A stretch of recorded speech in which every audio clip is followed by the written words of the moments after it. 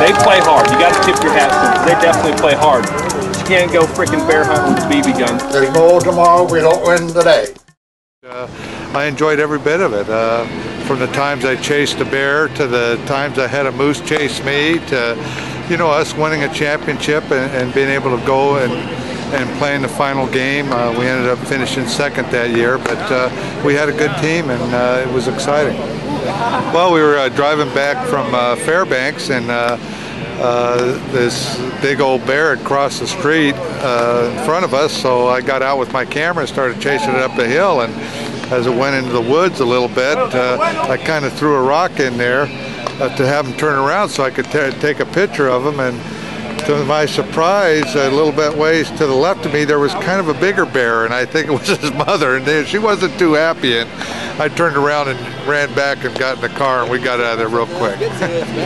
uh, we were uh, on the side of the road again. The moose had crossed the road, and and I had got out to uh, take some pictures. I always had my camera with me, and as I got out to take uh, a picture, it was a baby moose. Uh, the mother was not too happy, and she started uh, snorting, and she ended up starting to charge towards the car that we were at, and again, we got in the car and got out of there real quick. I think everybody that played up there over the years after I went there and played, uh, the first person they always ask about is uh, Jack O'Toole. Have you seen Jack O'Toole? So he's a legend in his own mind, in our minds, but uh, uh he was part of the Alaska League, and I think everybody that went up there knew Jack O'Toole. I just remember him smoking about 18 cigars a day, and uh, you know, he had his little, uh, how do you call it, personality. That was great. It was always great to be around Jack.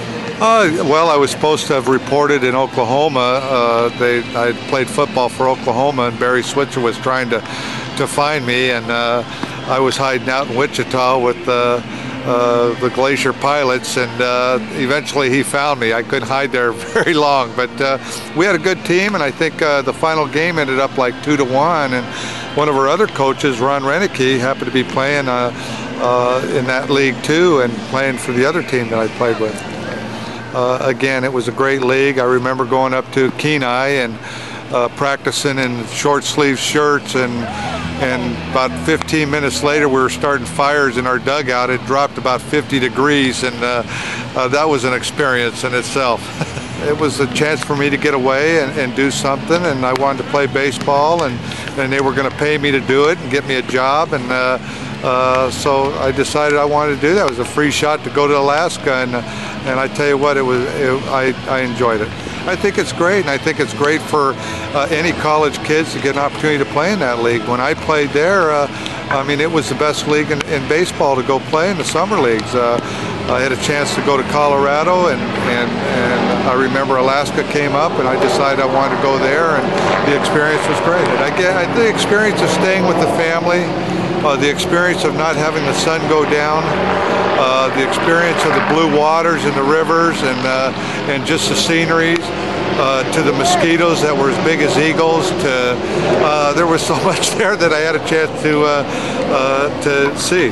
Oh, the family program was great. I think everybody that stayed with the family up there enjoyed the family. They you became part of the family, and uh, uh, I the family I had two boys and two uh, girls. So, uh, being from a family that didn't have any sisters, I ended up having sisters that year, and uh, it was it was a great thrill for me.